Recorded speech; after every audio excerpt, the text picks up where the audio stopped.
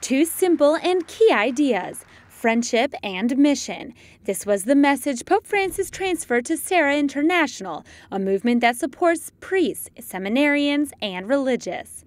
Con grande gioia ed infinita emozione le porgo il saluto mio e di tutto il Serra International, oggi rappresentato dai delegati alla 75esima Convention internazionale. Pope Francis said that their work with priests is essential because they need people to support them in their ministry, true friends. Friendship, he pointed out, is a blessing that is being lost in big cities.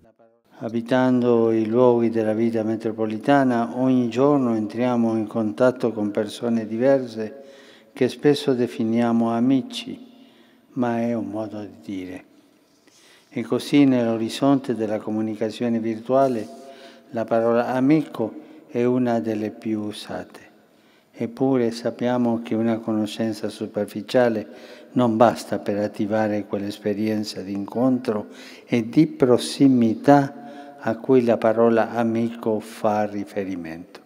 Pope Francis also spoke to them about another concept, the mission. He recalled that Jesus' disciples do not look at what they leave behind, but walk forward in spite of difficulties. They trust in God and know that they are sustained by Him. That is why he said it is sad to see men of the church who do not know how to leave their post, whether by changing dioceses or retiring. The Pope also said he was afraid of museum Christians who are closed in on their niche and are afraid of change.